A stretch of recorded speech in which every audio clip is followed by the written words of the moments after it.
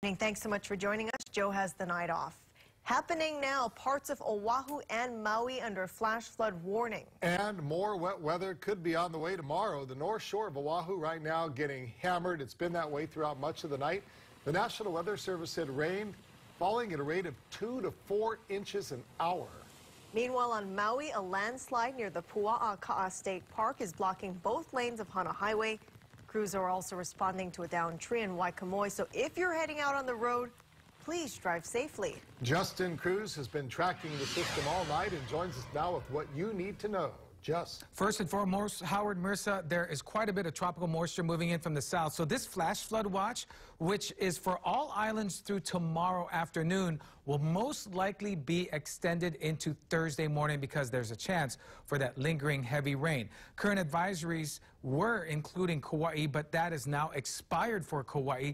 In the meantime, Mount Waialeale had up to nine inches of rain, Waimea Canyon and Princeville, about two and three quarters inch of rain. Where it's flooding now is along the Ko'olau Mountains from Kaneohe all the way up through Pupukea and Turtle Bay. Rainfall rates two to four inches per hour. And this has now been extended, the flash flood warning, uh, for until 1.15. It was until 11.15, just extended two more hours. It looks like this rain is going to persist. On Maui, thunderstorms have been persistent for windward Haleakala from Hana through Haiku.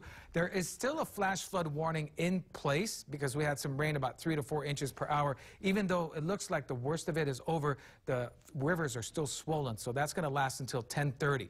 All right, looking, uh, looking ahead, it looks like much of the islands will continue to see at least scattered showers but sporadic heavy rains through tomorrow afternoon, possibly through Thursday, because there's just so much moisture. Even the possibility of some strong to severe thunderstorms for the islands as this moisture kind of pools around the state and stays here at least until, again, Thursday morning. That's when we're in the clear. Here's what we can uh, extract from the latest information from the National Weather Service. Heavy rain and thunderstorms will continue. And for Big Island summits, we have a winter storm warning, 8 to 12 inches of snow possible through tomorrow afternoon with southerly winds and no trades for the next seven days. That wet weather just continues. Howard Marissa, back to you. Alrighty, Jess, thank you very much. I want to take you back out to Oahu's North Shore right now where the stream levels are rising. Alexander Zane shows us now to show us what it looks like out there right now. Alexander.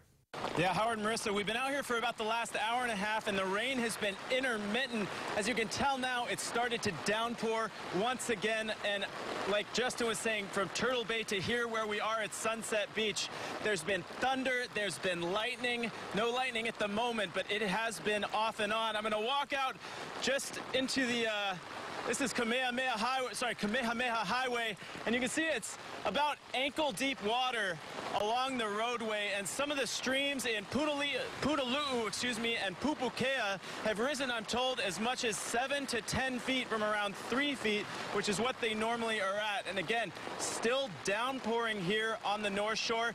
Areas along Kamehameha Highway are even worse than this. Cars are taking it very, very slow, as they should. See cars are creating quite the uh, the scene when they drive by and the rain here just absolutely a downpour on very much of the north shore that we've been driving through. And for the past around it's been intermittent but pretty steady for the past about hour and a half. But guys for now live on the north shore where it is a downpour. Alexander zanes KHON 2 News